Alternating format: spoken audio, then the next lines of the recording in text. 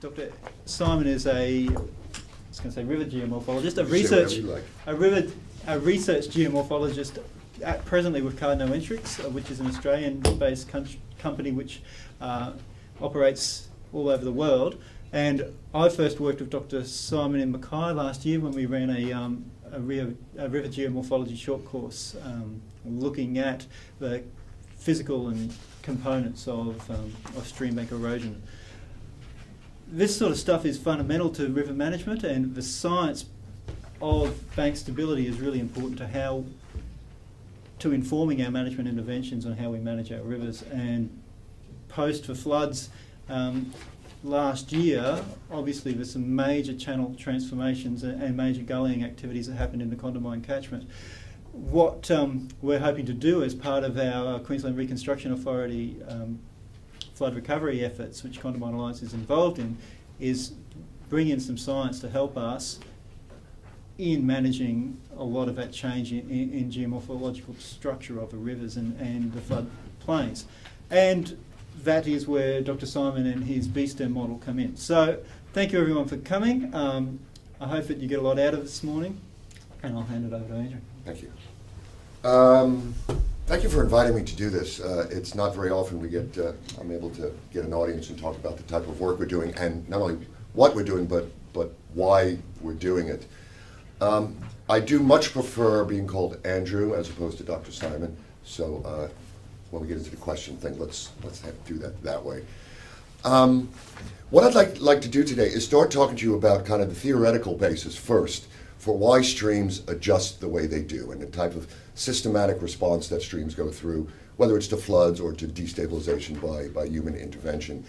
And then get that, go from, from the more theoretical into the applied aspects of how we can measure it, how we can model it, uh, and for the most part to do this deterministically. And by, by that I mean looking at force and resistance and using then numerical tools to tell us if we know particular driving forces, how is the landscape go, going to respond? In other words, what is the resistance, what is the resiliency of, of the landscape to those processes?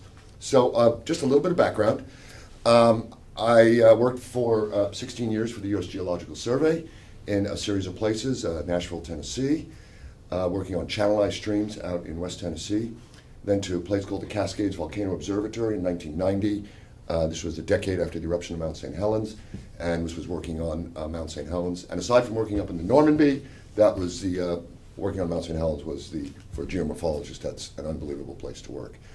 Uh, from there to North Carolina, working for the USGS, and then I left the USGS and went to the United States Department of Agriculture, a place called the National Sedimentation Lab uh, in Oxford, Mississippi, which is where I am still. I'm in Oxford.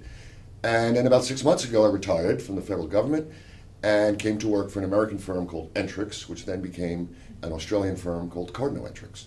Uh, so, and that firm is based out of uh, uh, Brisbane, and this is uh, the second or third project we've had now working in, in Australia. One for Sydney Water, one for Australia Rivers Institute, and now up here with, uh, with Condamine. So, um, what I'm going to do is going to start just kind of waxing philosophical about river systems and disturbed streams, and this is why we're all here. I mean, we, we deal with unstable channel systems. Erosion and deposition is a natural process. it happens. Rivers are not static, they are dynamic. They shift around the landscape, but it's all about scale and it's all about rates of change o- over time. So these are just some examples from, uh, from, from North America, unstable channel systems. This is from Oklahoma in the u- upper left.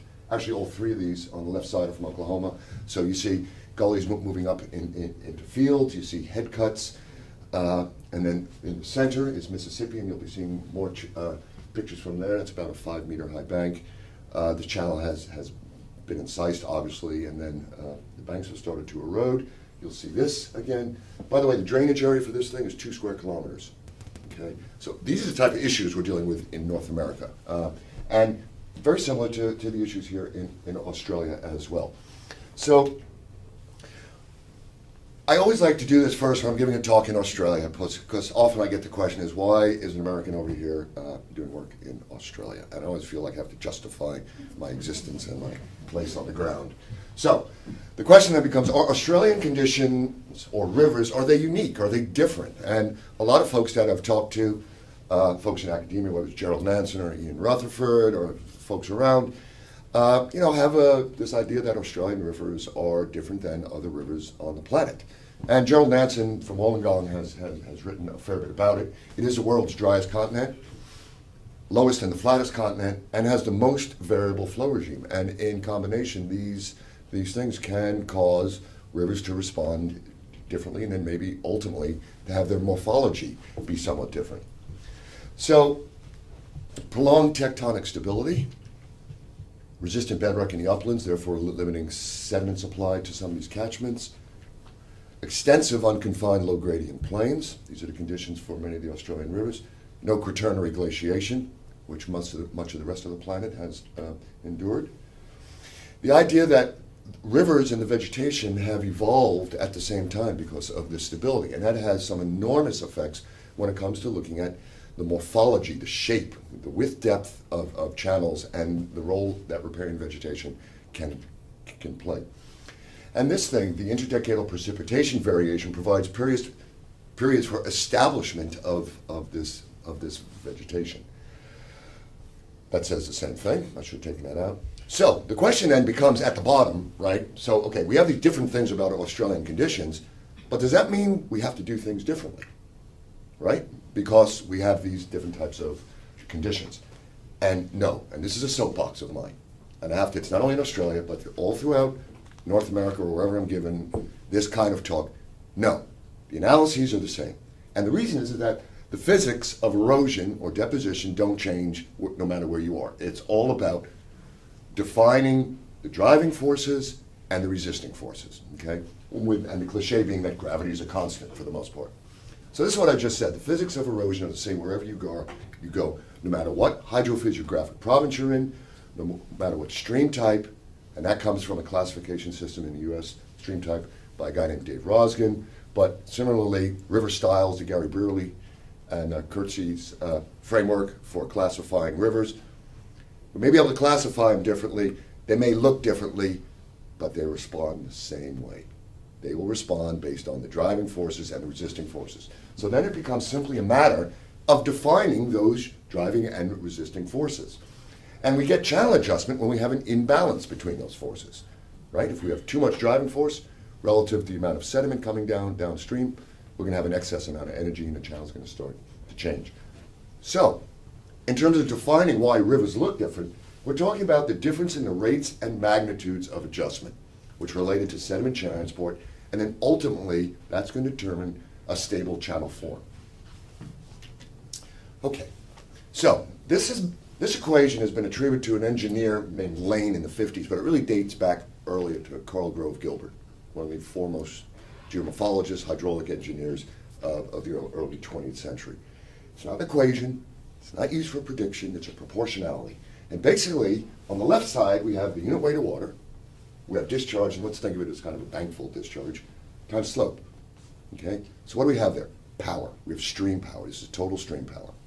And all this is saying is that total stream power is proportional to Q sub S, which is the amount of bed material that can be transported by that flow, times the size of that bed material. Okay? Stable streams, quote unquote, operate in this balance. Again, stable streams are not static. There's always transport, there's erosion, there's deposition, but they will vary about some mean condition. So let's imagine as human beings we're on, the landscape and we do something to disrupt this process.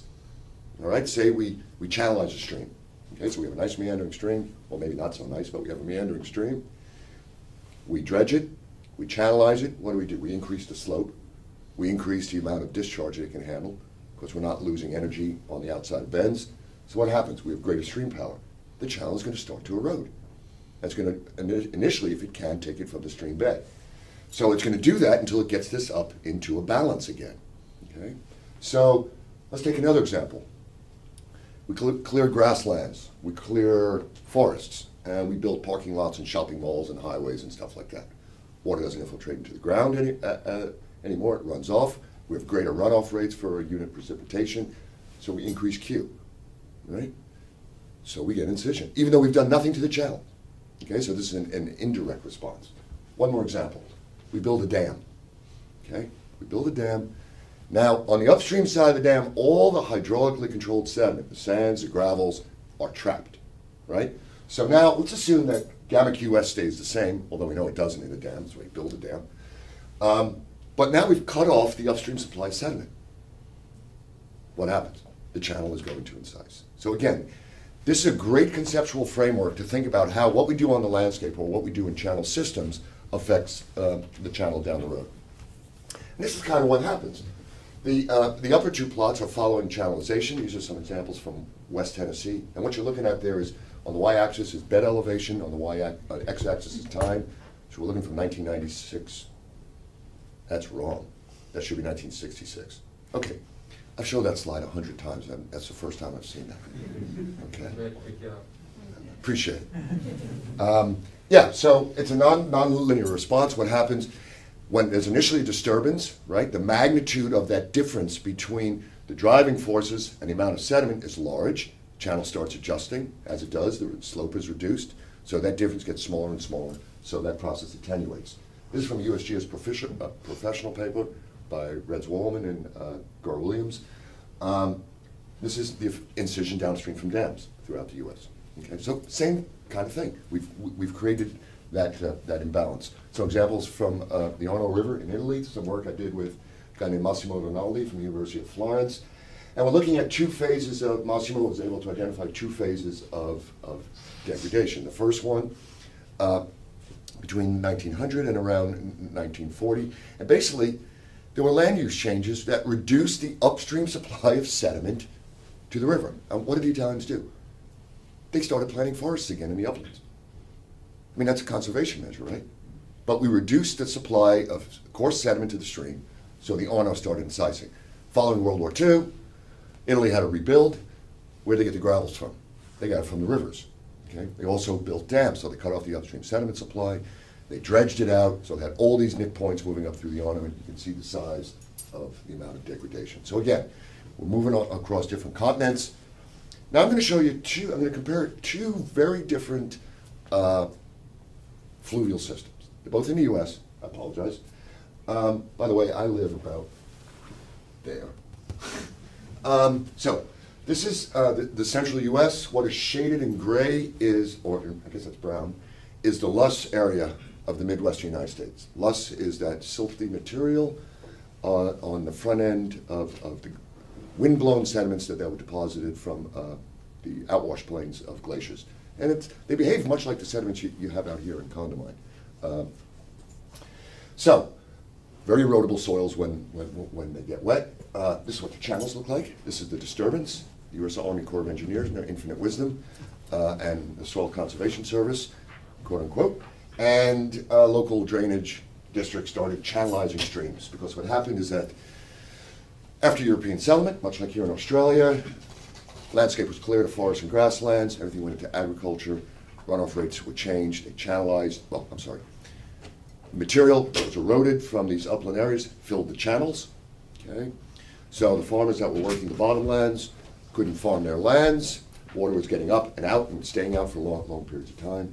So they channelized these streams, much like the British did in India, to drain drain this water off off the landscape. So what happens? We have a downstream disturbance because they channelize from the mouth of the stream, moving on up. It was anthropogenic. And in this system, sand bed, so highly mobile sediments, and a cohesive bank system. Okay? So if we think about the stream power proportionality, what, what do we do there? Well, we have a great increase in transport capacity, right? We have a bigger channel, we have greater run runoff rates, and uh, we have a great increase in slope because we channelized it. And this is kind of what it looked like. These are the responses. So Mississippi, Tennessee, Nebraska, uh, you may want to count the number of times you see this slide uh, during this talk. I think it's eight. Uh, and you can barely see it, but there's a car down here. We call this Mississippi riprap. But basically what's happened here, you know, the channel incised, the bank started widening, and the head cuts just moved up as far as this box culvert until, uh, until that gets undermined. So that's, uh, that's one example that we're going to look at. We are going to compare the response of that system to Mount St. Helens. Okay? Coastal plain system, alpine system, completely different environment. So here we are in the Pacific Northwest, Mount St. Helens in southwest Washington, May 18th, 1980, 2.3 cubic kilometers, cubic kilometers blew off the top of the mountain. Uh, there was a huge debris flow, uh, came down. You can see the, the map of the North Fork Toutle River. Here's a person for scale on the Toutle. You can see the depth of the lahars, which are mud-induced, um, sorry, volcanic-induced mud flows that came down. Basically, so it transformed this beautiful trout, gravel, cobble stream to something that looked like this, all right? So, what was the disturbance? If we think of it just in terms of this stream power proportionality, we had an upstream disturbance here, not a downstream one. It was natural. Uh, in a coarse-grained, non-cohesive bank system, in other words, sand and gravel system, uh, so we now have an increase in transport capacity, okay, because when the debris avalanche slid off the top of the mountain, it, ra- it basically buried the North Fork Toutle system. It was gone. There, were, there was no surface drainage left to a depth of almost 100 meters. So it's, it's a natural laboratory, right? So we had no stream system, and the rivers had to recreate themselves. So we had a huge increase in transport capacity. We also had a decrease, though, in the resistance of the material for transport. Went from a gravel cobble stream to like a silty, sandy stream. And so if we look at the response, uh, these are photos from the USGS. Uh, these are the hummock deposits from the debris avalanche that had come down, the channels that have cut through. And we see a lot of the similar things. We see incision, we see widening, and then we see meandering uh, through this system. So I'm going to dare to compare these two systems. So, and we published this in 1992. God, it's a long time ago. It's 20 years. Okay. Um, so Mount St. Helens on the top. Uh, the numbers aren't really important, but in the upstream reaches, you see this nonlinear rate of erosion. Of course, that's a regression. Nothing happens that smoothly. You can see how it varies uh, about that. But even though we had additional eruptions in 82, we had additional mud flows, we had additional uh, debris, not debris avalanche, uh, lahars coming down, you still, it still continued to operate according to the initial disturbance. Down, in the downstream reaches, all the sediment's coming, starts filling in immediately. That's Mount St. Helens. This is West Tennessee. Again, a completely different environment. So here in this uh, example, channel incises, okay, because it has all the excess energy. You can imagine that the slope is being reduced, reduced, reduced. So now it's flatter. Meanwhile, this disturbance is migrated upstream, okay? So we have less stream power now in this reach. Now we have all this accelerated amount of sediment coming down. The reach where we're at, it can't transport that anymore. So it starts to fill. Okay? Okay, so what we did was we tried to compare these two systems. So here's uh, Mount St. Helens and North Fork Toutle. Here's West Tennessee. So what we have on these plots, the y-axis is referred to as the A value. So what, what does that mean? So if we erode over time, okay, and we consider that the elevation at time zero is one, okay, so it's dimensionless. If the channels are grading, gonna, it's going to it's going to be dimensionless elevation, so it's almost like a percent. So it'll be maybe the ultimate elevation might be 1.1 or 1.02. Where if we're losing elevation, it's going to be 0.99, 0.98, 97 of the original elevation. Can everybody follow? So what we did is we we had these uh, we had the data for how the channel was changing, the elevation was changing over time. All right? Push those regressions out, out to where they became asymptotic and grab that point. Okay, that was the A value, which then we plotted. So for the North Fork Toutle, we have the lowest A value at the point of maximum disturbance, which was at the, the toe of that debris avalanche. So you can see it's about 0.9.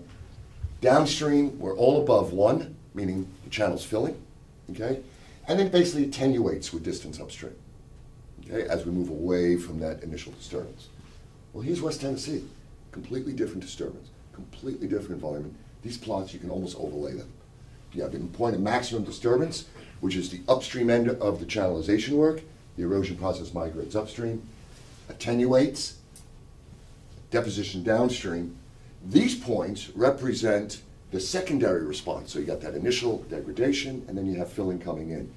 If we plot enough of these over time, you'll find it, it kind of all links up in a linear way. So these are two different systems. So you have the North Fork Toutle and the Obion. And fundamentally, in terms of vertical changes, they've responded exactly the same way. Okay, so now I've taken that plot, this is the North Fork Toutle, and I've just kind of sketched that in. You can think of that as almost like the volume of erosion that has come out of, out of the channel bed. All right. Now I've plotted that again, for the Toutle River system as a whole, and just ignore the black ones, the black dots, that's the secondary response. So we're looking at, uh, don't touch the the open circles. Um, so if you look at this, and that's the amount of erosion that has come out of the bed. That's the amount of material that's been deposited. And in most cases, in most analyses, whether folks are doing geomorphic analyses for just a research study or whether they're doing applied research and actually having to put something on the ground, this is as far as they go. Models like HEC-RAS, industry standard for 1D sediment transport and morphodynamic change, that's what it does. It does the bed, period. Okay, now hold that thought. So if we have this much coming off the bed and this much being deposited, and we know um, ahead of time from other studies that the amount of sediment coming off the hill slopes basically was done in the first couple of years. Okay, where's the rest of that material coming from? The banks, and most people ignore the banks, and it's it's been something we've been just banging home for almost 20 years now. Okay. So if we look at widening then, let's compare the two systems. So there's the Toutle River system on top, and uh, I caution you, that's on the y-axis, that's five log cycles, okay? Uh, this is not for prediction, just to give you a handle. But if we would try to draw a line across there to come up with an average, maybe for the we're looking at 10, 20 meters per year. Meters per year. When we first started working in the Obion system, which I was working in the early 80s, um, you know, we saw widening rates about anywhere between half a meter and a meter on average that's a dynamic system.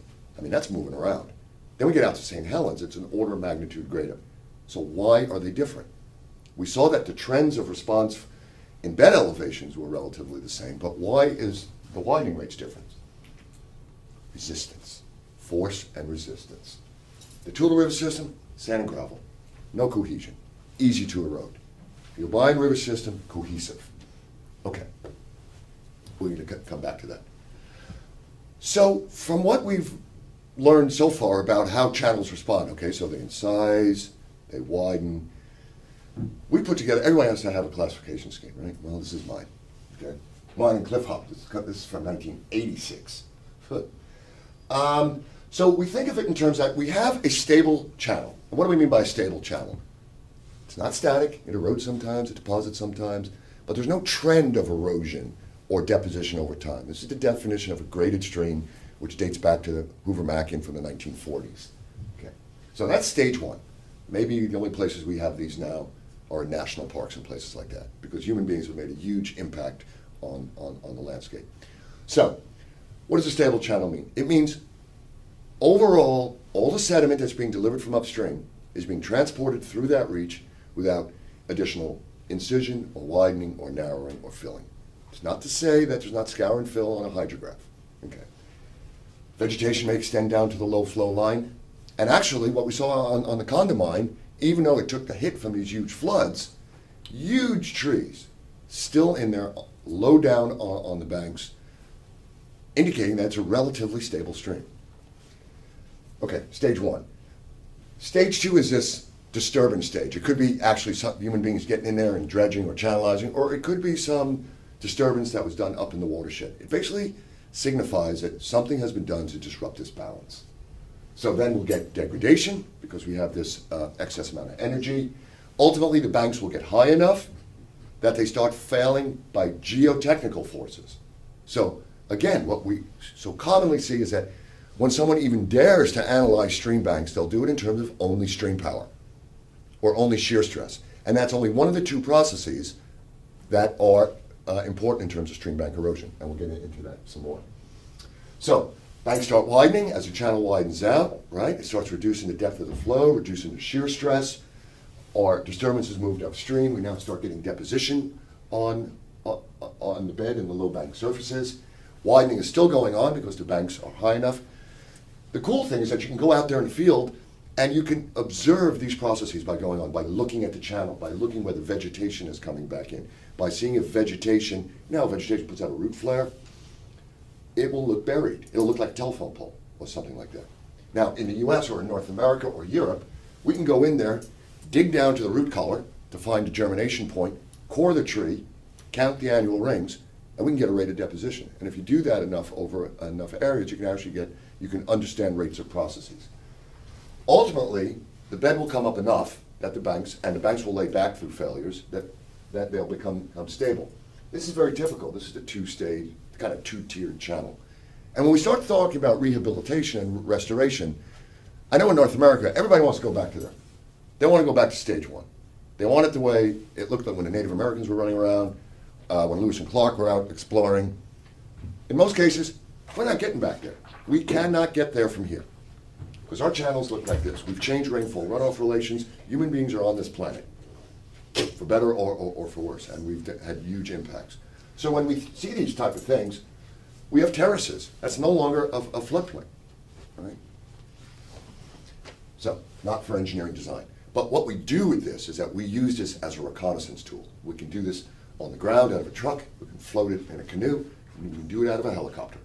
And we just get stage of channel evolution. And what it does, it indicates to us whether we have a disturbance which is localized, you know, or system-wide, okay?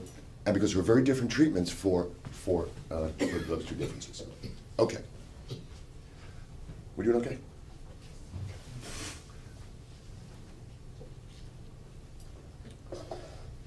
So, so far we've been talking about this kind of semi-quantitative empirical look. You know, we have the stream power proportionality, which tells us, yeah, the channel is going to be unstable.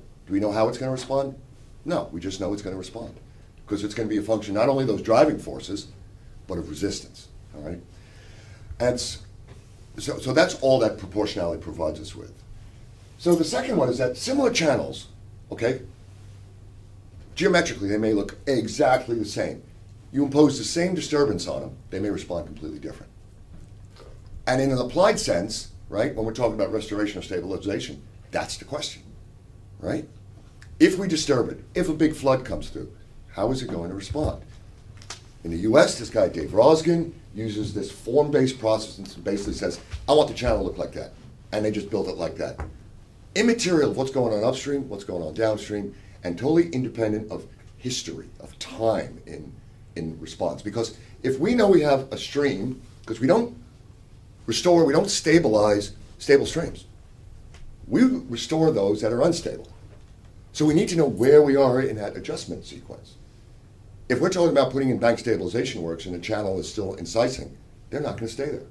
You're going to be throwing your money out. We have to know where, where we are.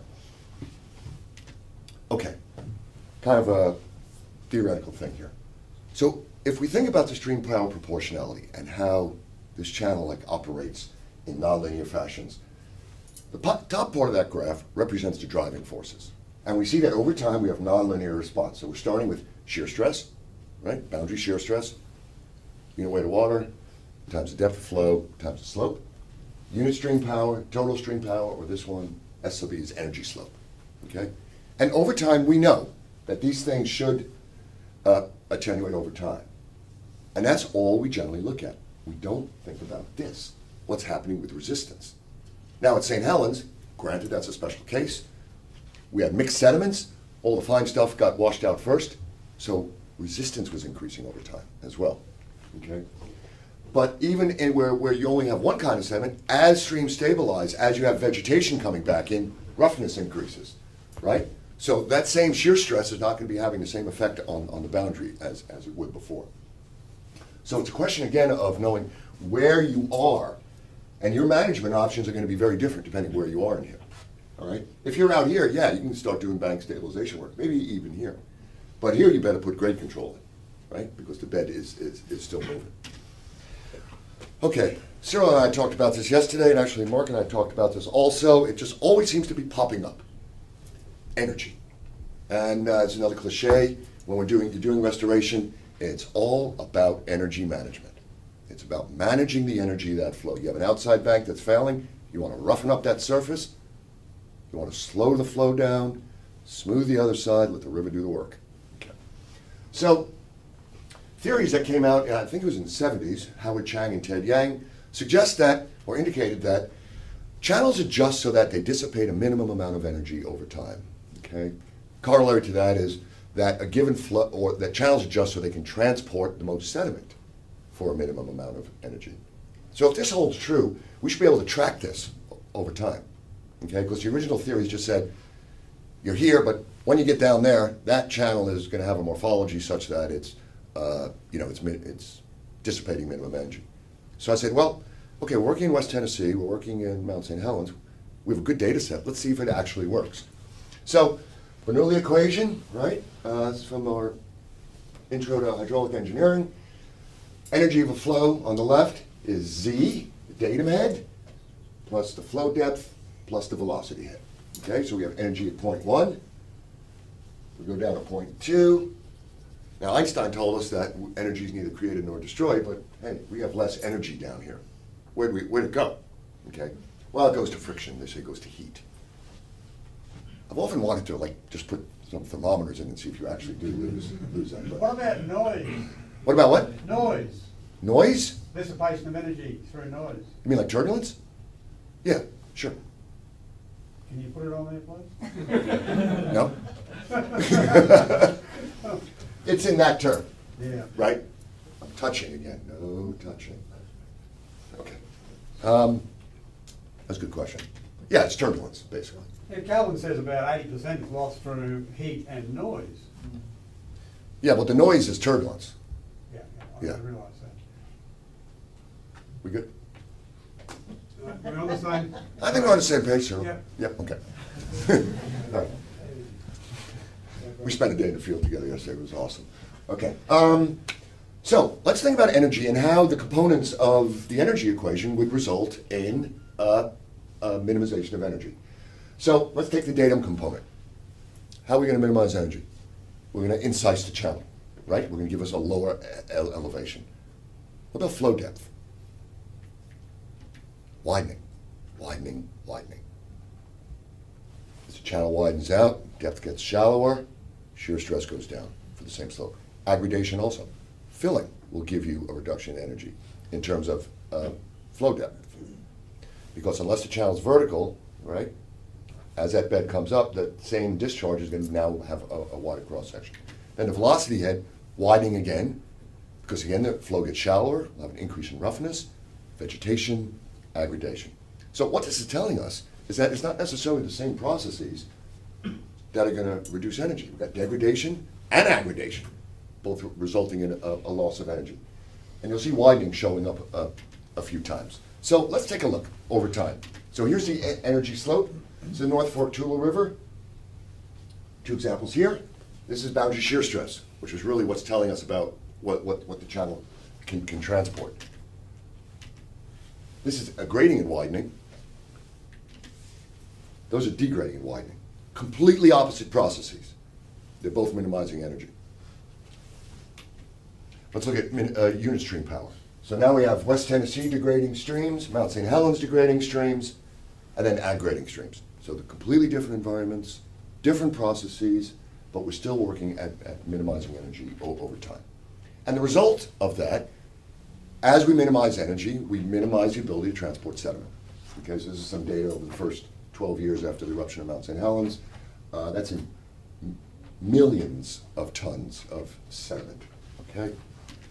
All right. So what that means is that so we adjust a channel. Do we still know how the channel is going to adjust? All we know is that there's an excess amount of energy. It's going to minimize its energy.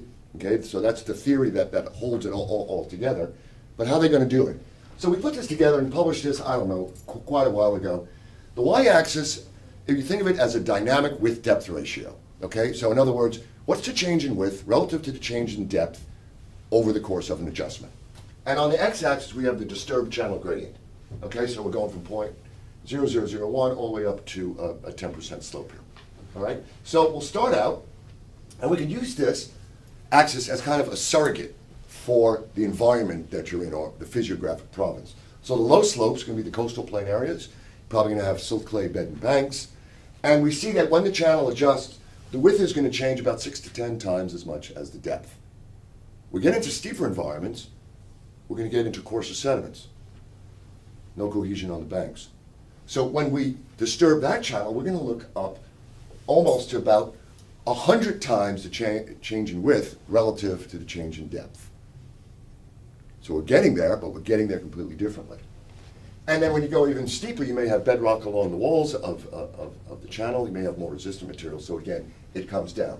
Again, I caution you, one, two, three log cycles here, three log cycles here. This is not for prediction. This is just for a conceptual understanding that these systems, once disturbed, will respond differently as a function of the boundary.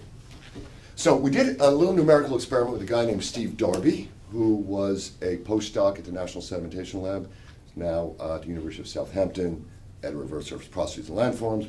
Uh, and Steve was, for his PhD, did the first kind of model where he linked flow and sediment transport with a very uh, simple bank stability model.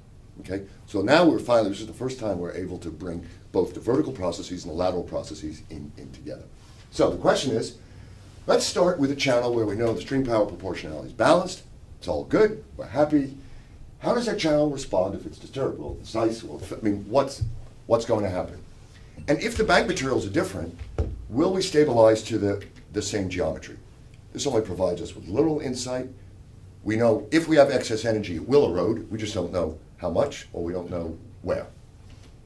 Okay? And we use this numerical model that Steve put together uh, a number of years ago, quite a number of years ago. Okay, so how do we disturb the channel? Again, this is a numerical simulation, so we're not actually going out and disturbing the channel. We basically took the transport capacity of the flow and we just cut off half of that upstream sediment supply. Okay, so that gets back to the stream power proportionality. Cut off the sediment supply, we're going to erode something. We're going to erode the bed, the bank, something. So the initial slope was 0.005, and initial width depth ratio was 13 and a half. It was a sand bed channel, and so we see the bed material is all the same, one millimeter of sand. Well, all we did was change the composition of the banks. That's it. Everything else is, is the same. So for the sand channel, this really should have been about 0.5 or 1, but we were naive at the time, so it was at 4. For clay bank, we set the cohesion so high we knew the banks would not erode. Okay, basically fixing them in, in place. Friction angle of the bank material, and then the, the sand content of the banks. Okay, and then we cut it loose. So I know this is a lousy looking plot, but just look at, I will walk you through it, but look at only the open circles. Okay, so you'll see here's dimensionless energy slope. So we disturbed this channel, right? The, the sandbed channel of clay, silt, sandbags, they basically all responded to about the same amount of energy dissipation. Slightly different, maybe one or two percent different. The question is, how did they get there? And really, the reason I we brought this back, the, the, this part of the lecture back, is to literally fight against the folks in North America that are using this kind of cookie cutter approach to restore streams, this kind of classification based thing, this form based thing. To say, if you go out with a channel, because their system is based on a given geometry. So this channel is a what they call a C5 channel. What does that mean to you? Nothing. What does it mean to me? Nothing. Okay? It's basically defines the shape of a channel, okay, and, and, and the slope. Okay? But they think that they can then design a channel based on knowing it's a C5 and where what they want it to be a B4 or whatever. Okay. So for each of these channels, how did they, they respond? Uh, I want to make sure I'm doing this right. Um, okay. So the clay bank channel, I told you the banks are fixed. So the elevation, the dimensionless elevation adjusts to about 0.96 of the original elevation. The silt bank channel to about 0.97. The clay channel to about 0.998. I mean, and even at lower slopes, which is what these other curves are, the sandbank channel is filling. It's not even eroding. Why are they different? The clay bank channel didn't change its banks at all. The silt channel eroded its bed. Finally, the banks became unstable and then started widening. The sandbank channel started widening immediately because of the very low resistance of the materials. So here are the answers. Let's look down that left column. So in the clay bank channel, we had three and a half meters of degradation down to an order of magnitude less in the sandbank channel. Just a completely different response. Same disturbance, all we changed was the boundary materials. Widening, zero up to 13 meters. And the bottom line for stream restoration, the engineers that actually have to put this stuff on the ground, is that what's the ultimate stable width depth ratio? Right? That's what they, you have the contractor out there building. Well, it ranges from about five and a half up to over 16. And that kind of uncertainty is just not good enough for engineering design. You're going to get it wrong. So again, this is the idea of using this deterministic approach. How do we apply this to restoration? Okay. There are numerous approaches. We can use an empirical thing, you know, re regime equations, kind of like, you know, the hydraulic geometry equations, like width, you know, they're all power functions. Width is a function of discharge, depth is a function of discharge. But that's still, it's empirical. It doesn't really give you the feel for or the understanding of, because if we use a regime equation, it wouldn't have worked in that previous example, unless we knew the resistance of, of the banks. Obviously, I am a, a proponent of the deterministic, physically based approach. It is, uh, it's no more expensive than the empirical approach. Uh, you know, to do the uh, classification schemes to go out there, you still have to collect field data. But why not collect the field data that you need to parameterize the processes that are actually changing the channel? Because if you can do that, if you can define force and resistance, then you're good. You should be good to go. Okay. So it's a big toolbox. Use what's appropriate for the scale and objective, and that's a big deal also. Are we looking at a localized problem? You know, maybe we have a constriction at a bridge or a deflected flow, or we have uh, you know, cattle come, coming in and eroding the bank. Well, yeah, then maybe one of these classification scheme approaches would work. You'd say, okay, it looks like that upstream, looks pretty good. It looks like that upstream. Let's build the same thing in the middle. I get that. But in, more often than not, we are dealing with the instability of entire fluvial systems, and we have to know where we are in, in, uh, in that process. Okay, so here's an example, and I already gave you part of the answer to this because I'm going to ask you a question that is pretty much rhetorical. So here's an unstable reach. The way the classification schemes work in terms of restoration, they say, right, that's our channel that we need to restore. Let's go find a reference reach. All right? Let's find a stable analog, maybe in the same channel, maybe in the adjacent watershed. All right, so we found one. There it is. Okay? Now, my question to you, and you have no way of answering this, but it's fun for me anyway, is how far apart do you think these are? And I'm telling you, they are on the same channel.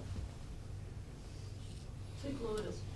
Okay, that's good. Someone actually gave an answer. Uh, it's like 50 meters. There is a supercritical flume stream gauging station in in between these two sides. Basically, I'm standing on a bridge and I'm pointing downstream and I'm basically rotating and then shooting upstream. Okay?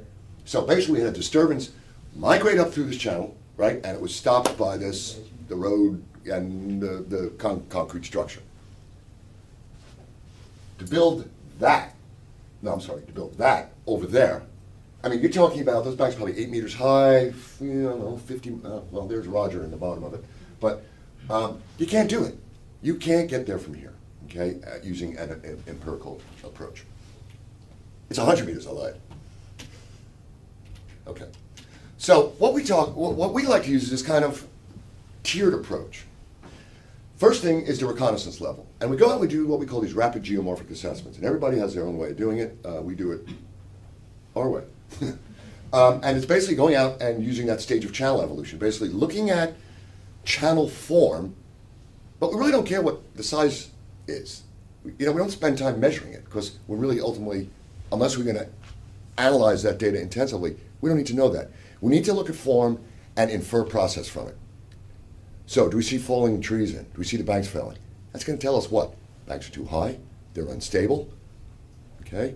Do we see, uh, for instance, tree roots exposed, but the bank's still stable? Well, that's maybe it's the channel is just degrading and it's just scouring out, and the banks are not high enough yet to, to actually start failing. Or if we see vegetation that's been buried, aha, we have an excess amount of sediment. It's telling us something about the dynamics of the system. Again, the reconnaissance approach is not for design. It's just to give you a handle on what are the dominant processes, to get you on the ground and, and to figure out what's, what's important. And the idea is identify the problem, not the symptom. You go out to the, the channel, the banks are failing. That's the symptom, right? Now, if it's a localized disturbance, all right, then we could deal with that. But if it's system wide, we need to know what the problem was. You know, if we put in bank stabilization, is the next wave going to cause more more degradation? Okay, so here's an example of just using a reconnaissance approach. Apologize. This is North America. This is about this is near the Four Corners region, Colorado, New Mexico, Arizona. Beautiful part of the country if you've never been there. Red Rock country. So, this is we're doing this piece of work for the New Mexico Department of the Environment. What they had, this is related to the Clean Water Act in the U.S. This stream reach was listed as impaired due to sediment, due to sediment deposition. Okay? It's supposed to be a warm water fishery. There's a whole story behind that too. Upstream, the Corps of Engineers built Navajo Dam. And in America, everybody loves to blame things. We're being taped. I've got to be careful with this. But we do love to blame things on the Army Corps. It's just what we do. All right. And uh, so I had this preconceived notion. You go out, we got a channel with erosion problems downstream from the dam. It's the Corps. You know, it's because of the dam. We had incision. We had bank widening. All right. This is the value of getting on the ground and not relying on Landsat imagery. Okay. So you get out there. The green dots represent stage six, stable stream. Okay? The reds represent a stage five, so filling and widening. And then, uh, well, the other colors, we'll just leave those go for now. So we come downstream in our canoe. About here is a world-class trout fishery. People fly from all over the planet to go fishing here. It doesn't look compared to me.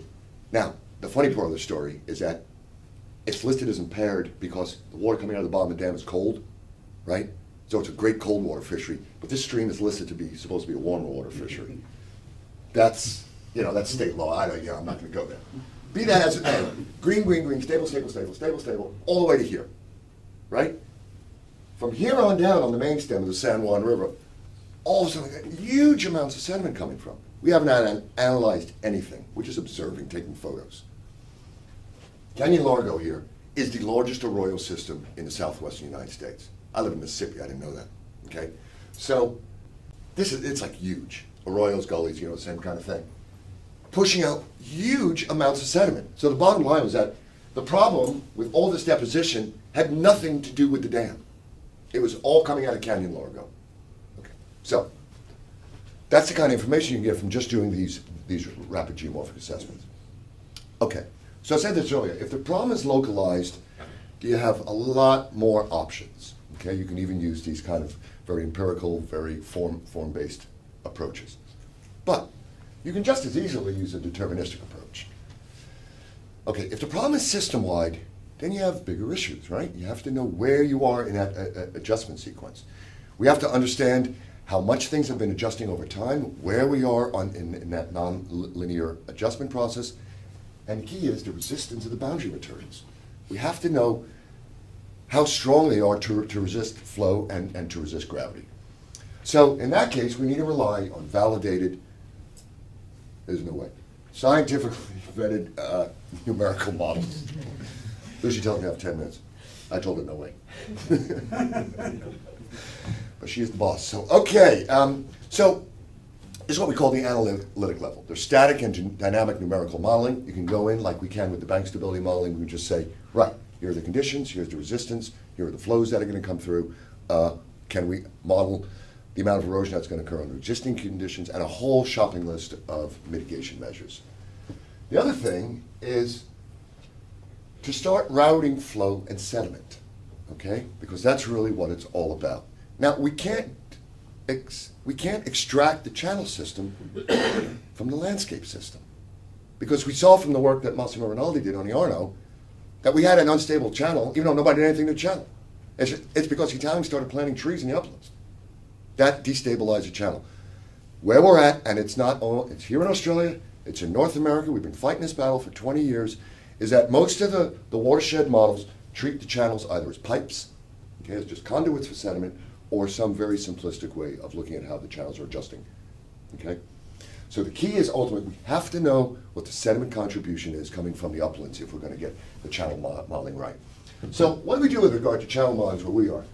We have our bank model, and I'll talk to you a little bit uh, at rapid speed. Uh, these are the type of things you can handle. It is not a sediment routing model. My son works with high performance computers for NASA. He thinks of it as a toy. Okay, it's basically uh, a spreadsheet tool. But now we're working on bringing it into the industry standard HEC-RAS. Remember I was teasing HEC-RAS that it only gave you vertical changes? Because of the example I showed you, the modeling example from Darby, the results coming out of HEC-RAS, if you have mobile banks, are completely biased, right? Because it's going to have to take all that energy out vertically. Okay, so we're merging these two models. That's ongoing. We're also working with the U.S. Bureau of Reclamation, their Denver research office, to merge the bank model with their two-dimensional flow and transport model. Uh, this is the bank model, um, and originally when I came out here thinking that we are going to do this thing Friday, I thought this is what we are going to talk about all day, or at least, yeah, all day. Um, It is a purely process-based model. It handles this whole host of things. It is completely deterministic. There are no knobs to tweak. Okay. Um, and the bottom line is that we can collect all the data we need, which we have done over the last two weeks here in the Condamine Basin, in a day at a site. That's a maximum, about a day or, or half a day. So, bank stability processes. Pretty typical shape, huh? In an incised channel, we have that vertical face. We have hydraulic erosion. Remember I said bank erosion is two processes? So we have hydraulic erosion. This is the first one, so we may get the hydraulic processes, undercutting the bank, may get a tension crack developing, and in, in your soils here, you do get tension cracks developing. Infiltration, and then raise pore water pressure, and these are all the processes that we have to include within in the model. Because the pore water process, pressure is going to reduce the strength of the banks. So the resistance is not constant, it changes. Shearing starts, it goes, materials deposit at the toe. It may deposit as blocks, may deposit as completely, may not deposit at all, may just drop into the flow as dispersed aggregates and on downstream. But you notice when it fails very often, it'll fail back at a flatter angle. Okay? It won't continue to keep failing if you can protect the toe. So toe protection is key in, in bank stabilization work. And then the hydraulic erosion will continue to remove it, and there you go, and that cycle keeps keeps going on. So bank stability is decreased by soil moisture, the weight, and then generation of pore water pressures, toe erosion, which increases the downslope driving forces, increased by vegetation, root reinforcement, if a failure plane has to slice through, through those roots, and evapotranspiration. It's huge. It's huge in what it does to help lower the water table and increase uh, the strength of the banks. We don't have a lot of time to talk about that today. Drainage, anything to get uh, to lower pore water pressures, and uh, rugby balls. Anything, if you put a rugby ball to tow your bank, uh, you'll be able, to, you know what I mean. I never get a laugh on that anymore. All right. So the way we analyze this is do with the factor of safety. Okay, the factor of safety is resisting forces over driving forces. See, so the geotech guys had this right a long time ago. It just took us geomorphologists a long time to realize we have to analyze things the same way. So, at a factor of safety of one, that means resisting forces exactly equal to driving forces, theoretically, and the bank should fail. So let me show you, uh, this is just an example, but it's uh, really instructive. So we're running at about, this is from 97 up through 98, it's in this hippie, and we're running at a factor of safety about 1.2, so we have 20% more resisting forces than we do driving forces. And you see it's getting greater. It's getting greater why? It hasn't rained. It's dry. We're getting greater matric suction in the banks. The resistance is increasing. Well, then we get a reasonable peak, right? We get lateral infiltration, the bank wets up. We lose some, some strength. Does the bank fail? No, not yet. Because it's lost a lot of its strength, but it's still not unstable. Well, we get another event, right? It drops a little more, dries out. And then finally, it's like this fifth event, it's only a moderate event, that is like the straw that broke the camel's back. Okay? Bank erosion is not a linear process. The hydraulic erosion is, you can relate that to discharge or shear stress. But bank failure is due to the geotechnical properties. Okay? And then you see as it dries out, the factor safety just in increases again. So this is kind of example output. Uh, so here's a, an event we might have modeled in BSTEM. And then we use an example of say, okay, what happens? Uh, we'll output that, the toe erosion, we have a bank full event. We'll then output that into the uh, stability algorithm and take a look at what happens if we leave the water table up here. The drawdown case and the surface water in the channel. And then it'll give us, and it'll predict under what conditions the banks will fail. So what we can do is when we're looking at restoration activity, we can say, right, instead of silt at the toe, well, maybe we have rock now. So instead of a, a resistance of 5 pascals, maybe we have 250. So it's not going to cause that much undercutting. And the same with adding vegetation or battering the banks back. I thought I'd give an example from, uh, but, well, let me, let me stop here for a second. Uh, I haven't nearly gotten to the end. And I'm going to ask the group. Um, obviously, we are, we're running out of time. Do we have more time for me to chat, or do we want to break into questions, or what do you think? We've got 30 minutes until we break for lunch. Okay. So, What does everybody think? Uh, I'd kind of like to, to keep moving through if that's okay. Finish the story, Dad. Finish the story. Roger that. Okay. So, uh, and I have to do this because it's an Australian exam. So there's some work uh, I was doing with Andrew Brooks from Griffith University. Has to do with, uh, you know, sediment delivery to the reef, uh, the Coral Sea. Mm, gorgeous, right? So the O'Connell is a typical agricultural watershed draining to the reef up by Mackay, uh, and it's reported uh, by Brodie and others as having the highest sediment yield, so the amount of, highest amount of sediment per unit area being delivered to uh, to the Coral Sea from, all the reef catchments. Okay, so here's uh, here's the data about 750,000 tons per year. You can see how the O'Connell compares with the Fitzroy and the Burdekin and uh, the Normanby, where Andrew is, is working. But look how small it is. It's a teeny watershed compared to the Burdekin and the Fitzroy. Yet it's you know three quarters of a million metric tons per year. When we look at that in terms of uh, sediment yield, okay, so sediment per unit area, you can see where the where the O'Connell pops out, both in terms of existing conditions and under quote unquote natural conditions. So it's according to this report, highest yielding sediment in the in, in the reef catchments. Okay, so there's the O'Connell. This is what it looks like on, on the ground. Um, this is the reach we're working in the upper left. Um, you know, we did kind of those RGAs up and around the basin, kind of observing, and we didn't see a lot of erosion off the slopes. Uh, we didn't actually see much bank erosion either, to tell you the truth. And about 5% we estimated of the total length of the banks, okay, were producing sediment. Okay, so there we are. Uh, there's Mackay, and there's Mackay, and uh, that's where the O'Connell is. So, when we're talking about bank protection, we have to talk about the difference between uh, protecting against hydraulic versus geotech processes, because they're very different, right? So, hydraulic protection means either reducing the available shear stress somehow, or increasing the resistance. Geotechnically, we're talking about either increasing the shear strength of the soil. How do you do that? I don't know. Planting trees, right? Root reinforcement. Or decreasing the driving forces. Now, the driving forces are all gravity, so you're basically talking about laying the bank back. Right? So, here's an example of the kind of things we can do. So, this is, this is with the, the bank stability model, with an older version, but you can see this is the amount of toe erosion you would get if we had a silt toe, and in this case we eroded about, you know, two-thirds of a square meter from that cross-section. Then you just simply change the material type along the bank toe, and you can see how the different type of erosion. So just in this example, we're now down to about 0.3 meters squared. Not saying that this is the answer, but this is what, what we can do and how we're going to analyze the data here in the Condamine.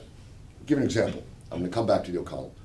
This is from Lake Tahoe, uh, which is on the Nevada-California border. Same kind of thing. Uh, they're concerned about delivery of fine sediment to Lake Tahoe, beautiful, pristine al- alpine lake. Uh, what this represents on the, left-hand axis, stream bank erosion in cubic meters, so it's volume, okay, it's not mass. And each of these represents a site. So this is Blackwood Creek at river kilometer 1.94 under existing conditions and with toe protection, okay, whether it was rock or large wood or what have you. So the large numbers represent the number of failures that we modeled over this worst case annual hydrograph. They wanted to know worst case. So we had seven failures. This is the proportion of material eroded by hydraulic action. The rest came from mass wasting. Okay? So then we did the runs, the same runs, same flows, and all we did was change the toe material to rock. One failure. Now, this doesn't mean we're going to be this successful everywhere, okay? But this is the example of, even though hydraulic erosion only represents about 15, 18% of the total erosion, when you protect that, look what you do to the total bank erosion. Okay, so just an example. So, we want to account for root reinforcement. The model does that. We have root diameter here, tensile strength on the, uh, actually that says tensile strength in megapascals. These are data from uh, uh, mostly from North America. These in black are from the Australian species, and we are continuing to collect data. We just finished doing a Lomandra out, out here this week. And basically what this is showing that is the tensile strength relative to root diameter.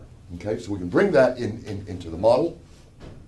This is data from uh, Tom Hubble's student at the University of Sydney, and they look a little different, don't they? They kind of plot differently, so we're a little concerned about that. But um, yeah, let me just leave that at that for now. So, but when we start looking about the effects, and this gets back to that original question: Are Australian conditions different? And I think the answer is yes. The tree roots that we have, the riparian roots, go down about a meter, a meter and a half, except for some of the invasive species. The Australian species can go for almost forever, it seems, in some places. You know, Tom Hubble and his his, his guys have seen five, six, seven, eight meters deep. And if you think about the effect of a failure plane having to slice through that root, that's going to make that bank stronger. It's going to make the channel narrower compared to an American one. So we look at this, we have factor safety on the uh, y-axis and the age of the tree in years. So you can see how for this given hypothetical condition, and I don't remember what it was, maybe it's a bank two or three meters high, saturated, the effect of vegetation over time. So the North American species are plotted with the dotted lines, the Australian species are plotted with the solid lines. Okay, so you can see the value of repairing vegetation on along Australian rivers. Ah, it's a four meter high silt bank. Okay, so coming on back to that, these are the modeling results that we, we had for the economy. Now, these are not final, they were preliminary. Basically, we modeled three successive bankful flows. So, with a bare bank, the total erosion at the crosshair is about 15.6 tons per meter, uh, and then tons per meter per year, so we divided it by three. And then we multiplied by the length of the channels that we knew would be unstable. This is preliminary, it's an estimate. We come up with about 39,000 tons per year under, under bare conditions. Okay? Andrew Brooks, he does a lot of work with engineered log jams. So we put in the cross section for engineered log jams, increased the roughness, increased the critical shear stress of the material. And we found that we got anywhere between a 56 and a 75% load reduction. Okay, so in applied sense, that, uh, that's very good. And I suspect if we had modeled rock down there, it would have done the same thing. With mature vegetation, natural conditions, so basically we put 30-year-old trees on the top bank, we were down to about 9,000. Okay? So we went from 39,000 under existing to about 9,000 under natural. So what does that mean in terms of, of what we saw previously? The upland model showed about 16,000 tons per year uh, coming out of stream banks, about 1.8% of the total. That's what we came up with. Okay? So it's an order of magnitude higher. Now, in terms of the exported materials, we were coming up with 39,000 tons were coming out of that system. Basically, what we did is we multiplied the total load by the percent of silt clay, it was about 23, 24%, and then assumed that most of that material made it out. For natural conditions, the upland model said about 3,000 tons per year, 35,000. Okay? Now, this doesn't mean that these differences, this, it doesn't mean that this is truth. This, is ver- this was very quick and dirty analysis. This is an estimate. But it's pointing us to the idea that if we don't start thinking about channels and stream banks, we may get management strategies uh, wrong. Okay, I'm rolling. Back to Alabama. Alabama. This is the Tennessee Tombigbee River. This was a Corps of Engineers project to connect the Tennessee River to the Gulf of Mexico. Why? I don't know. Somebody needed some work. The idea was to connect the Ohio River and the Tennessee River so they wouldn't have to go all along the Ohio and up to the Mississippi and then on down. Okay, this is what it looks like. Okay, and the local management groups, much like Condamine Alliance, they're all concerned about, you know, the agricultural folks are, are losing land. So what we did is we took a worst case annual hydrograph, we ran daily time steps, and we have the original bank in blue, and then checked what it would what would happen over that first year of this worst case uh, annual hydrograph if they did nothing. So that's the geometry. And then we tried various mitigation strategies. And this is what we're going to do here um, at, at Condamine. We're going to test different mitigation strategies, whether it's vegetation, whether it's rock, whether it's wood, whether it's laying the banks back, to see how these banks are going to change over time and what's the most cost-effective way of, of doing that. Okay, last one. This is a case study. This is kind of cool. Um, this is really the only restoration project I've actually designed. I mean, I was a research scientist for 30 years. Uh, this is the place we're working. This is actually where we developed the bank stability model. Uh, but we had calculated that between the period 1966 and 96, over a period of 30 years, this meander bed had retreated about 15 meters, 14 meters, about half a meter per year. Okay? So, uh, again, this was a research uh, area. We had all kinds of stuff on the ground uh, to develop the model. These were monumented cross sections. We had gauges on the main channel and a tributary coming in. We were, we were sampling sediment. We were pre-sip. This was 20 minutes from our office. After every every storm event, we went out and resurveyed. Okay, so what it looked like in '99 to 2004. You can see, compare where the white buckets are, which are just five-gallon buckets turned upside down, covering our tensiometers. Uh, that's how much it eroded over that period. You can see that the bend apex has kind of moved downstream. And in the upper right there, upper, no, that's not the upper right, the upper left. Uh, that new bar there is not fluvial deposition. That's a bar formed from cohesive material falling off the bank, very good riparian tree sticking in there, and now it's a new bar, and it's gonna kick the flows out. So, let me give you a little run through of what these cross sections looked like between May ninety-six and two thousand three. I'm gonna flip through these quickly. The new profile is gonna be uh, the black line, okay, so here we go. So the first event, we have some toe erosion, more toe erosion, bank fails. Okay, I'm just gonna cycle through this. So you can see the bank moving, and on the opposite side, you see deposition going on. So this is a stage five channel. Bed's coming up, right? But the bank is still widening. Okay, so this is what, what it looks like over time. So between ninety-six and two thousand three, we're still eroding about a half a meter per year. There's another cross section. You can see how this bar is growing up. This is kind of the new stable, this, ultimately, this is the new bank, bank full level. Another cross section. We do get out there in wet weather. Don't be afraid of the rain. Um, there's a sediment sampling station. And uh, you all have heard of Hurricane Katrina, right? So New Orleans is six hours south of us. We had three events the size of Katrina up where we were that year, 2005. Uh, this was the biggest one in, in April. Um, okay, so we used the bank model to, uh, to model how we were going to stabilize this bank. And why did we want to stabilize this bank? Because the landowner, who had been letting us work there for a decade, ran for political office. And he won. And he walked, marched into the area office and said, and we'd been paying this guy for, for leasing his land. We were paying him an order of magnitude more than the land was worth for any land that was lost due to erosion. Um, but he wanted it fixed. So uh, my boss came to me and said, do it. Okay. So um, I figured I would handle the geotech. I called my buddies at the Corps in Vicksburg and got their best hydraulics guy who handles that kind of stuff for that. We collaborated on this. Here were the issues. We had seepage, uh, so we had, you know, we had infiltration coming through the bank. We had a less permeable surface, and it would run off, and we'd get kind of piping coming out. So that was one issue. The guy on any short picture of that bend, he has a little farm road that comes across the top of the bank. We were not allowed to flatten that bank and get rid of that farm road. So, hey, client's always right. This is what I'm pretty sure you wanted. Okay, this is a Corps of Engineers project. Okay, they love the rock. They're all about the rock. So this is what they wanted. And actually, this project failed. It got. Uh, I'm standing on a county road bridge.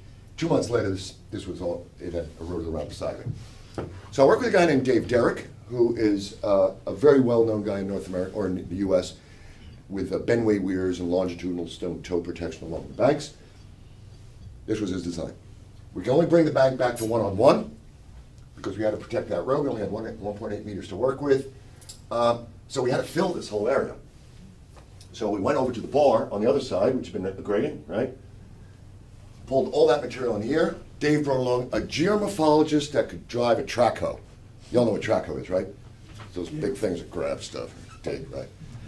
That's really dangerous, having a geomorphologist with a track hoe. But this guy was a magician with this thing. He was literally picking up mature tree, he'd dig out a tree, he'd pick it up, dig a hole here, water it, slam the tree in, bury it, water it again, and these things survived. And I'll show you a picture of that. So the design was longitudinal stone toe to protect uh, the toe of the bank, right, from uh, undercutting. This Bendway weir, which extends slightly upstream into the flow and basically kicks the flow out to the other side. Planted a hell of a lot of vegetation along here, roughened up the surface, left that guy alone, and let the river do its, do its thing. Okay? Because all the measurements out there, we were very lucky. We, we knew how shear stress varied with discharge, right? So we knew the maximum shear stresses that we had to be able to withstand. Got online, Pierre Julien, Colorado State University. This is his spreadsheet for sizing riprap. This is, I'm sure, the things that engineers do all the time. I'm a geomorphologist. This is the first time I've used this. So I went through this spreadsheet. We figured out what size rock we needed, about 30 centimeter rock. Did an analysis of flow depths, the slope, and the critical dimensionless shear stress, which is kind of stuff you need to use to predict sediment transport. And we used the worst case. And uh, that was what it said. We needed stuff up to about 57 centimeters, and so those were two mixed graded rock sizes that we used. Okay, so we checked that with the bank stability model, and we saw that we were going to reduce toe erosion by about a third by just having rock extending about a meter up the toe. Okay. So, the no action alternative is always an alternative, right? Because it's cheap. right? So we said, okay, here's our bank. Uh, we're conditionally stable. We're at 1.1. We're looking good. Water table comes up a little bit. We're unstable. All right, no action right now is not an alternative. But maybe, because that didn't fail 1.8 meters, which we had to go to his road, maybe we can survive one failure and just protect the toe. Okay? So we put the new geometry in, raised the water table, 1.44, we're looking good. Water table gets higher, still unstable. All right, we got to spend money. My boss does not like spending money. Okay, so now we said, all right, here's our one-in-one design. There's the geometry stable, we got 2.1, even with a drawdown condition, water table up. Still, when we get higher, um, unstable. Now we're sweating. In North America, Salix nigra, black willow, is a species folks love to use for stream restoration. I'm here to tell you it's great to reduce surface erosion. It is miserable for geotechnical stability. The roots are weak, there are not many of them, and they're all on the surface. So, willows, not good. River birch or sycamore uh, are good. Okay?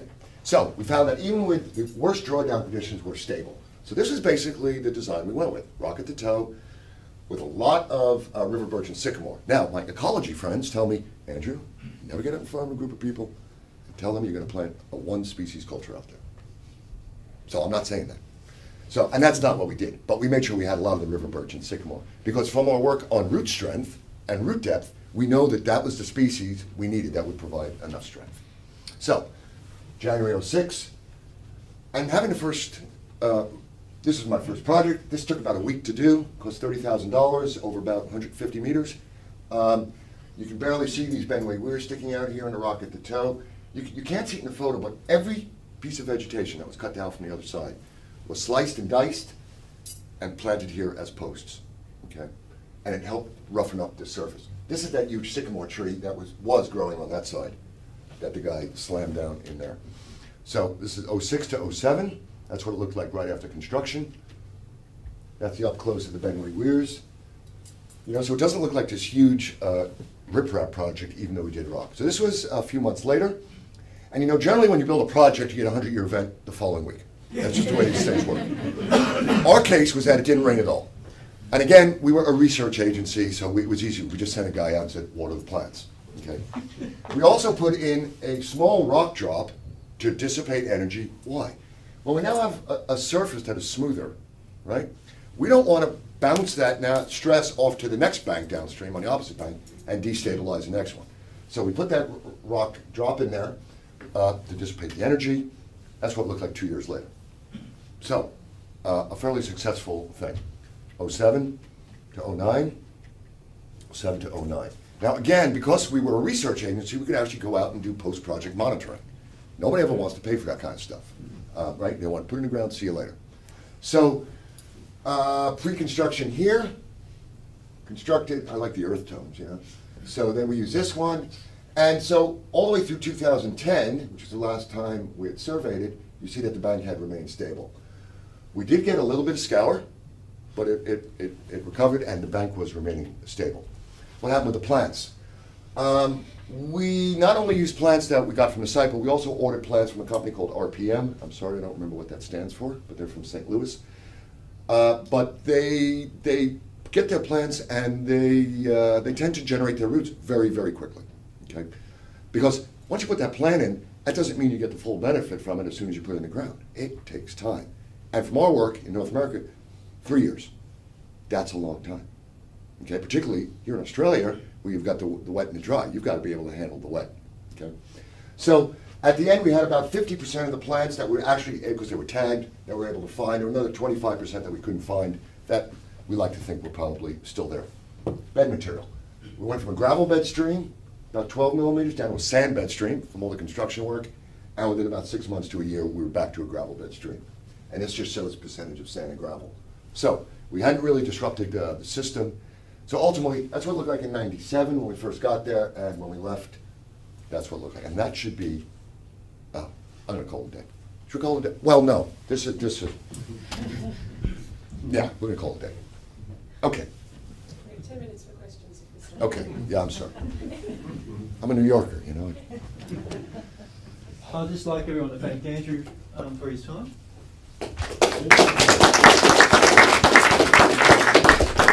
And um, this is part of what is a five-day um, intensive course. So for Andrew to cut down Yeah, to an hour and a half is, is quite an effort. So, um, and I have sat through the five-day intensive course, and it's some really fantastic stuff. The, the, the best analogy I can think of is: um, Does anyone at all follow the UK chef Heston Blumenthal? He applies a lot of scientific approaches and measurement to cooking, um, and he he, he um, uses temperature and, and measures rather than and, and weights rather than cups and whatever. And the, the whole fundamental under, uh, idea of his cooking is that um, the dis- difference between a good custard tart and a bad custard tart isn't luck and skill. It's the physical properties of the ingredients that you're putting in that custard tart and the physical forces acting on that custard tart. So if you can, if you can replicate those every time, if you can have the same ingredients and the same temperature or whatever acting on that for the same time every single time, you'll get the same custard tart every single time. And bank stabilisation isn't about um, a magic black box of we'll put the riprap in and see if it works.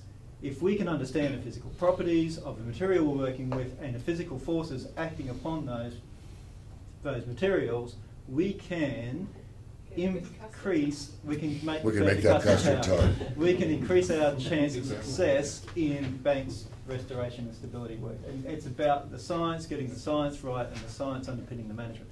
So thank you very much, Andrew, for your You're time. very welcome. Thank you for And sitting. let's um, open up to some questions. Cyril. Suppose I should ask a question. Uh, I'm not surprised.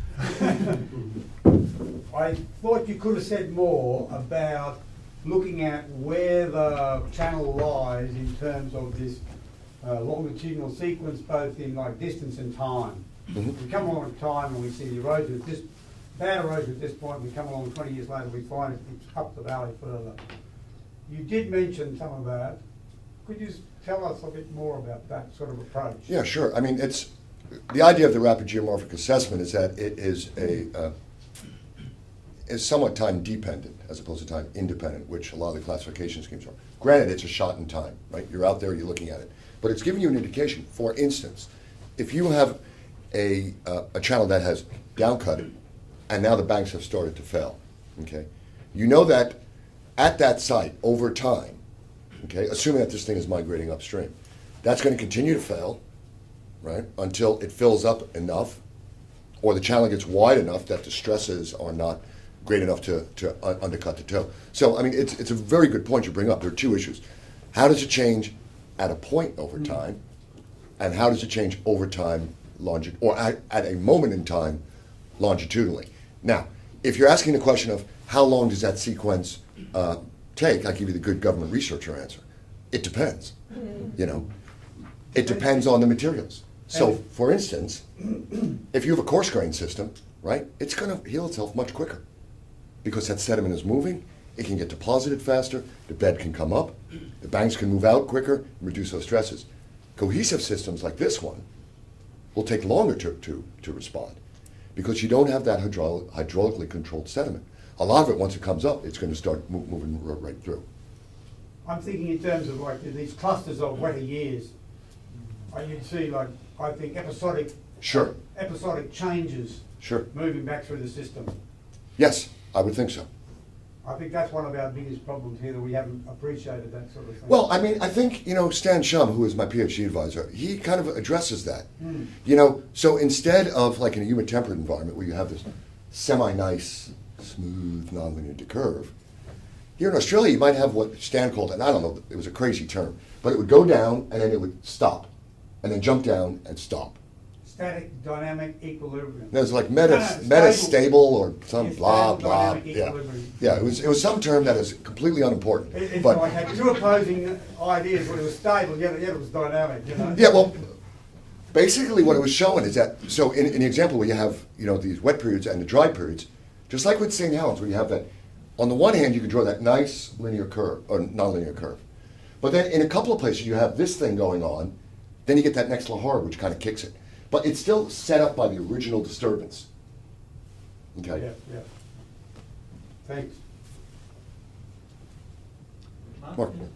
Um, yeah, at Connell River, were you more or less saying that the previous estimates of bank erosion were probably way under? Yes. And, I'm saying that our value is also an estimate, though. yeah, yeah. I would, I mean, that is not something that I would write in a journal. S- So what, what was, the what was the quantum compared to the total estimated load? What sort of percent would it be?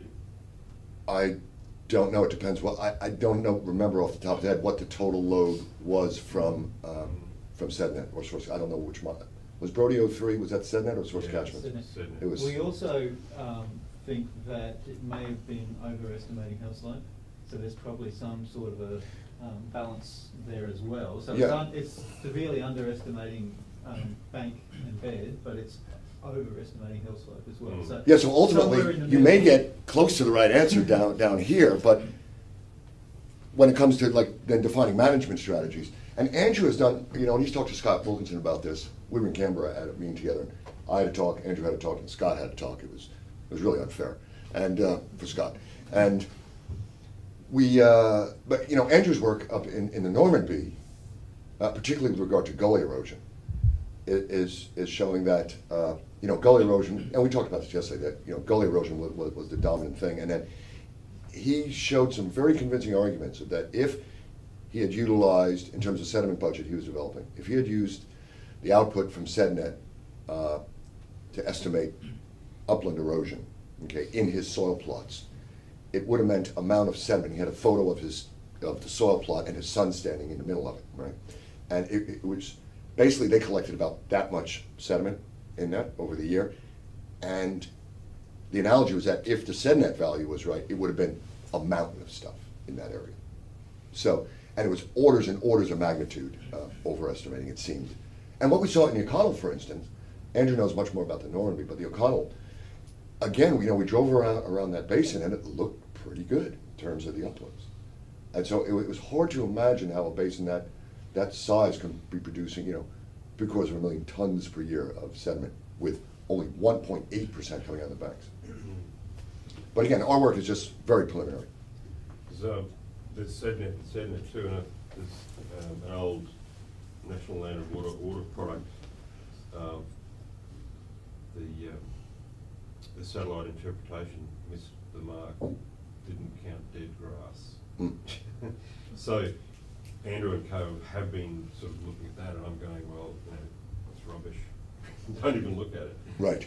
So, Marcus, you and I talked about yesterday, I think a lot has to do with just communication. mm. And, I, and to a certain extent, it may even have to do with personalities. And the personalities being able to, to communicate with one another. Because I think we're far enough along, we understand the science. We understand what we need to do, it's just a matter of doing it now. One, just uh, bearing in mind your worldly experience, what's your gut feel of the Condamine, uh, what you've seen in the last? I like the condom it's cohesive.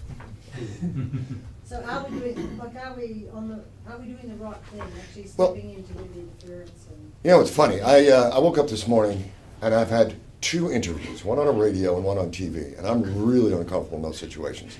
And, uh, so the, one of the first questions they asked was, so, what are your recommendations? It's, it's like when you come out to a field site, right? And somebody's invited you in, and you know, you get off a plane and you drive up to the site, and people have been there for 20 years, right? And they go, right, Dr. Simon, what do you think? And what I've learned is to be quiet at those moments. Um, but that said, and uh, I will tell you what I, I, I told uh, Sophie, I guess the, the TV interviewer. Um, what I saw out there uh, was for a system. Okay, so let's talk about the uplands first. For a system that just gotten pounded, right, by a couple of huge events, it, it seemed amazingly resilient to me. If you're expecting not to have gullies after events like that, you're nuts. I mean, you're going to get them.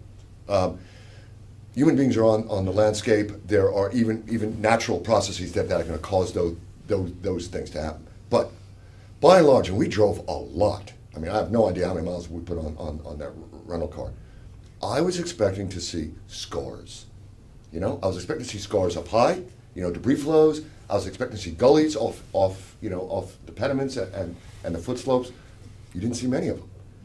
When I looked at the main channels, and I didn't look at a lot of them, Glen Garren, or Glen, Glengallan, okay? When we, uh, so, you know, a couple of gullies we were looking, or one of the gullies we were looking at, uh, drained to that, and then uh, to the Condamine itself, yeah, it looked like a huge flood had come through. But it held in there. You know, the Condamine at uh, St. Ruth's Reserve, I guess was the area we were looking at. it looked like a huge event had come through. I mean, we looked at high water marks, 3.8 meters high. It's a big, big event. But the trees were still there. Yes, there was some bank erosion. It's a natural process. So, the first take home message I got was that, okay, it's not as bad nearly as I expected. Second take home message from the data we've collected and what we've worked up so far the soils are, very cohesive, which is good for bank stability, right? Uh, this is Australia. Things germinate and grow and transpire 12 months a year. It's not like us. We've got six months with, or three months with stuff doesn't grow. So planting vegetation is a good thing.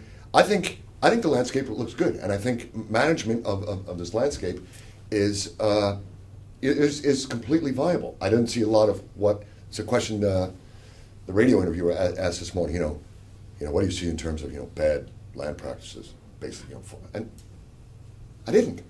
You know, it, it looks good.